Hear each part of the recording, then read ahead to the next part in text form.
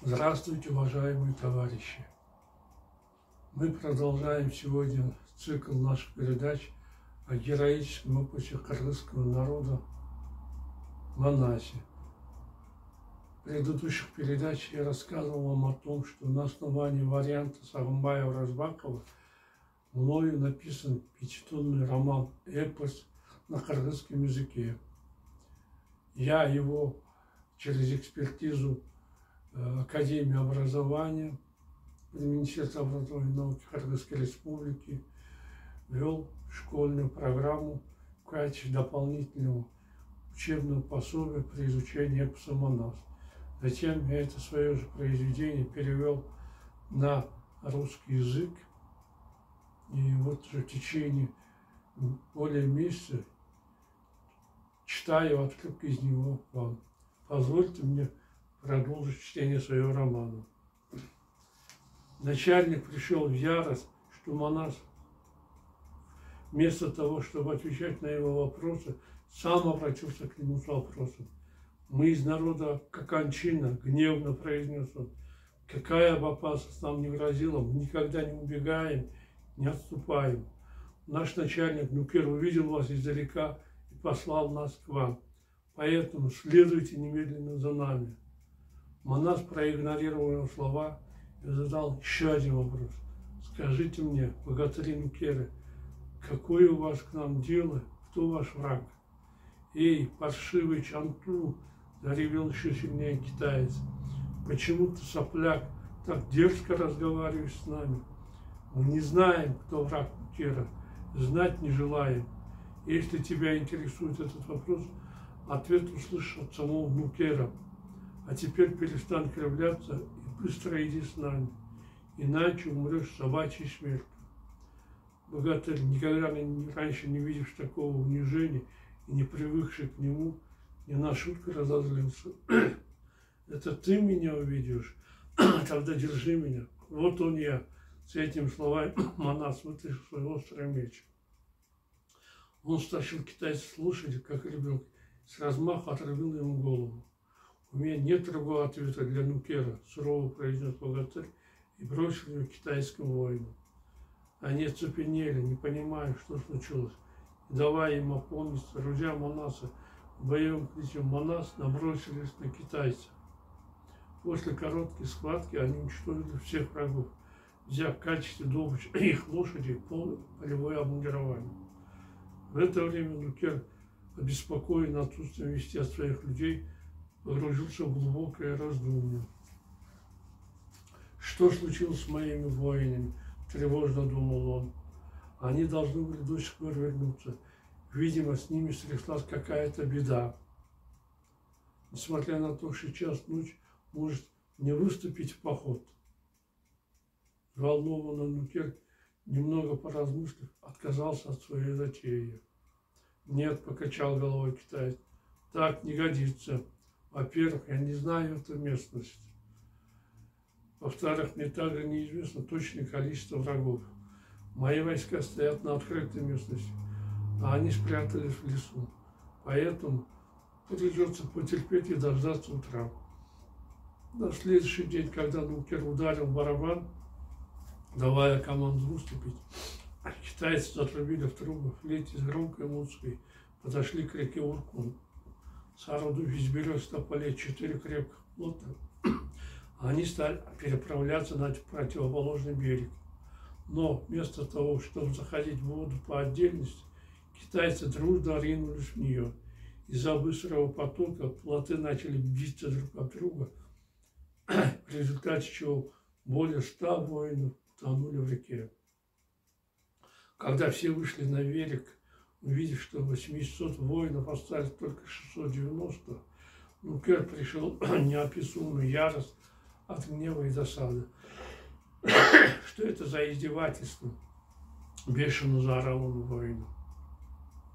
Желая поймать каких-то сопливых пацанов, мы, еще не встретившись с ними, лишились более двухсот воинов. Храбрицы, седлайте коней, не давайте никому спуска и ловите всех врагов. Выполняя приказ, китайцы разбрелись по лесу. Давно следившие за ними воины Манаса моментально окружили их. От действий незнакомцев, рослый, широкоплечий, желтолицый, узкоглазый Чан-Чан пришел в ужас. «Кто вы такие?» – поспешно спросил монах, стоявший впереди кыргыза. «С какого народа, рода племени вы будете? Где обитаете?» Мой предок Тубой хан, дед Бабар хан, отец Жаков, а меня зовут Манас, сердито ответил богатырь. Сто воинов, которых вы прислали ко мне, лежат, обняв землю в волком ущелье. Если у вас есть старая месть, приготовьтесь к бою. Не жалейте себя, я уменьшу ваше число. Если я вырвал меч, вместо воды пролил вашу кровь. Когда монах издал громкий крик, и 84 воина, вооруженные длинным копьями и острыми мечами, собрались в середине поляны. Прежде чем начать битву, богатыри двух сторон решили сразиться на поединке.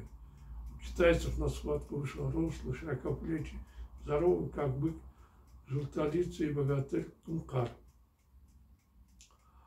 Он вырвал из ножен острый меч и выступил вперед.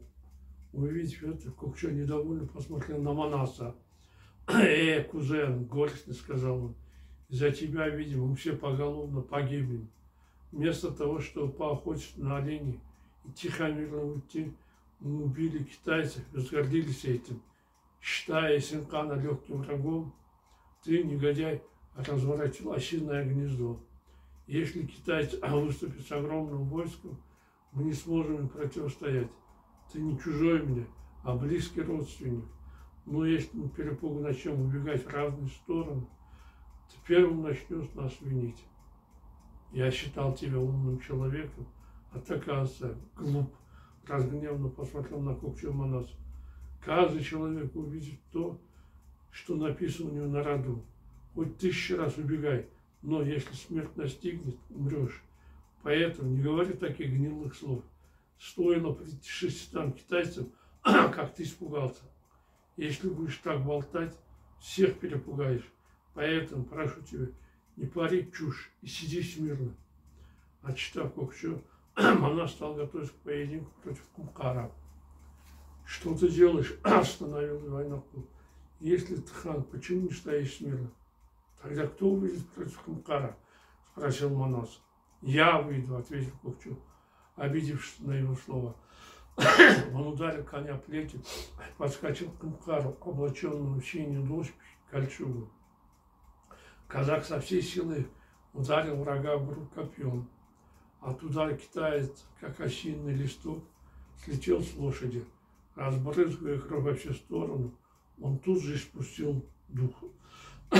Разъяренный Нукер отправил на поединок богатыря Булжона на коне Аламой ног. Это ты уничтожил Кумкара, презренный Чанту. Крикнул среднего роста, широкоплечий, скуластый, рыжий волжал казаху. Не гордись этим, подойди ко мне. Я разорву твою селезенку. Манас, внимательно следивший за поединком, заметил, что у китайцев, кроме меча и копья, имеется винтовка. Это очень его встревожило. Как бы этот подлец не обманул Куксу, вместо боя на копьях – не застрелил его из винтовки, стал беспокоиться он. Когда Болжон взял оружие, приготовился выстрелить, Манас понял, что его предположения были верны. Беспокоен за кузена, богатырь сорвал со спины ружье.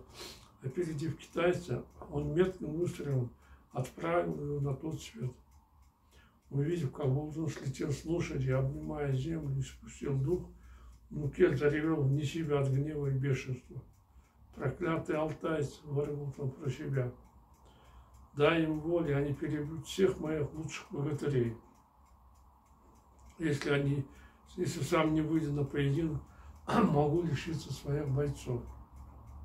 Мукер взял руки длинное копье, ударил коня плетью и крикнул воинам. На поединок уйду я сам, никому не двигаться с места. Когда Калмак вырвался вперед, Манас ударил откуда плеть и направился к нему, но Кокчо схватил за поводья его лошади. «Богатырь, что с тобой?» – удивленно спросил. «Когда я стою на Майдане, куда ты ревешь-то?» Я раньше много слышал про Нукера, нетерпеливо ответил ему Манас. Его хвалит, что он самый лучший боец века. Увидев его вид, я пожалел тебя, беспокоясь, как бы он тебя не ранил, я примчался сюда. Нет, я сам буду с ним сражаться, ответил Кокчев. И стреляя из ружья лука, не подняв копье и меч, казак гневно подскакал к китайцу. Неожиданно Нукер вырвал Кокчев из коня и приготовился ударить его большой камень, валявшись на обочине дороги. Тревоженный монас на окуле помчался на помощь кужину. «Отпусти Кокчо!» – заревел богатырь. Схватил за плечо Нукера, сидевшего на коне. Тот заупрямец еще крепче схватился за казаха. Поняв, что он не намерен сдаваться, Манас вырвал обоих из седла. «Погоди, негодяй!» – мстительно подумал богатырь. «Я тебе покажу, как надо поднимать руку на кыргызов». Он положил на лук седла обоих и помчался к своим войскам. Доехав до них, Манас отрубил голову Нукеру и освободил Кокчева. Увидев гибель начальника, китайцы, молясь своим богом, громко крича, ринулись в атаку. Манас и его товарищи схватили копья и мечи. С криками «Бабедин!» бросив клич Манас, они с бешеным напором стали сражаться с китайцами, не давая им передышки. Все вокруг наполнилось криками, шумом, гамом. Враги били секирами по головам, копьями по груди, мечами по телу. А черная людская кровь лилась рекой. Обезглавленные головы катились по земле, как мячики. Монасиков с двух сторон начали громить китайцев, так что дым стоял коромыслом. Через три часа после начала боя, не выдержав натиска кыргызов, китайцы вздрогнули.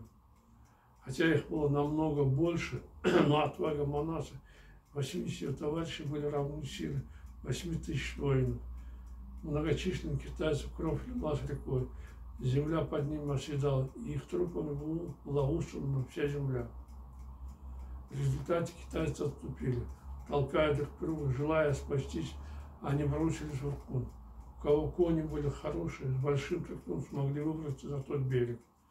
Те же, у кого кони были слабее, опрокинулись в воду. Они, потеряв надежду на спасение, разомлев, как раздавленная грина, накинув на голову подолом, барахтаясь на поверхности воды в синих камзолах, судорожно взмахивая руками, камнем уходили на дно. На другой берег Уркуна перебрались только 200 воинов из 700 и стали убегать в сторону горы Будан. А некоторые из них по берегу речки добрались до Жеркенто, а затем подскакали к Исенкану. Монах с товарищами одержал полную победу. Они разделили между собой лошадей, оружие, мундирование погибших китайцев. После этого боя Манас получил прозвище кровопийца.